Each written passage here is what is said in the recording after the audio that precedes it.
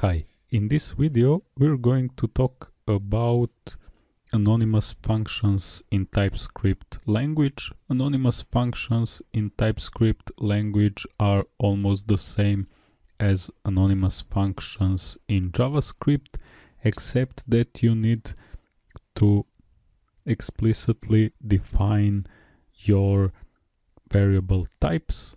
So let's make a simple anonymous function.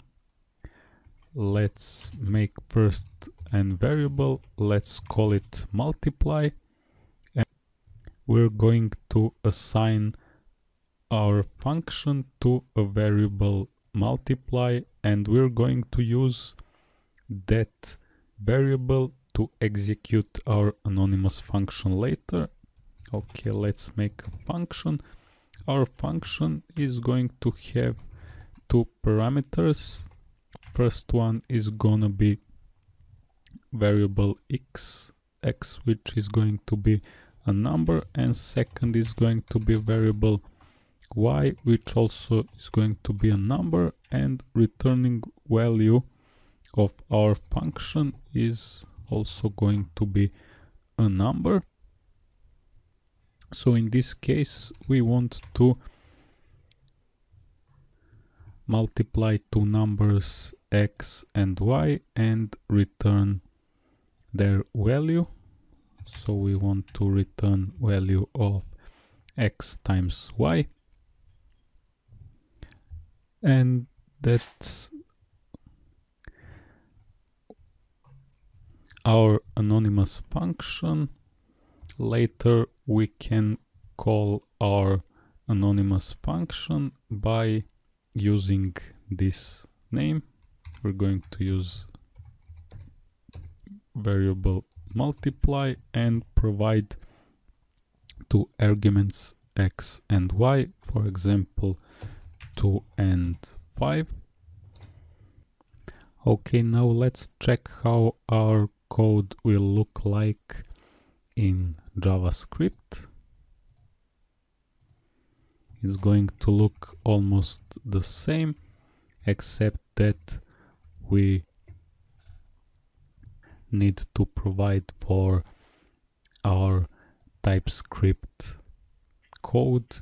That variable x as has number type and variable y has number type which you do not need to provide in JavaScript. And also we're going to provide our returning value of our anonymous function which is going to be number and again in javascript you do not need to provide that variable. So these two functions in typescript and in javascript are almost the same except that you need to provide types for your variables okay then let's back again to our to our typescript function and let's play with it a little bit. First what if we want to uh, make uh, this function to has a name? For example to has a name multiplication can we then use this multiplication name to call our function in our code later for example here can I call multiplication function uh, on the same way as I called multiply function here and provide the same arguments. Can we do that? Of course we can't, we will get an error because our compiler said that it can find name multiplication. So if you want to define the name of your anonymous function, it uh, will not be visible outside of your function and if you want to work with your function you need to use the name of your variable and provide arguments to your variable and not to your the name of your anonymous function. And let's say okay we can delete that name to make our code more cleaner? And how can we run our function anonymous function immediately after we've created it? Uh, how to run it after creation? We can do that by I will delete this code by putting this function inside parentheses and close it right here and put semicolon and inside of our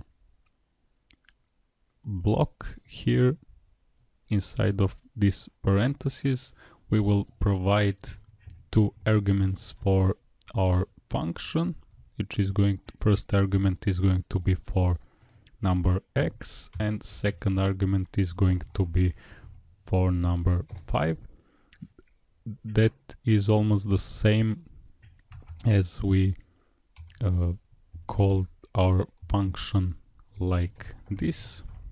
So you can use your anonymous function to immediately call it and provide to it arguments as you will do by calling the name of your variable and provide the same arguments.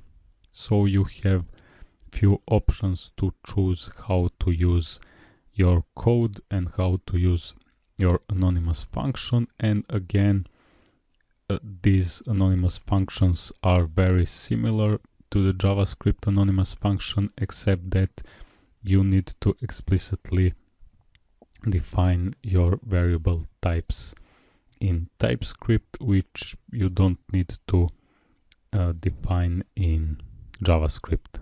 That's all for now in this video.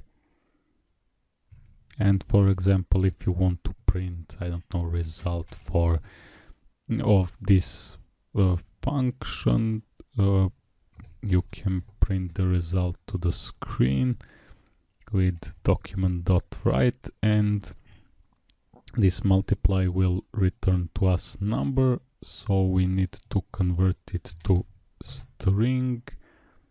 So we're going to say document.write multiply these two numbers and convert the result which is a number to a string. Okay. Okay I think that we need to delete this. Okay and that's it for now in this video. Thanks for watching. See you in the next video. And please don't forget to subscribe to my channel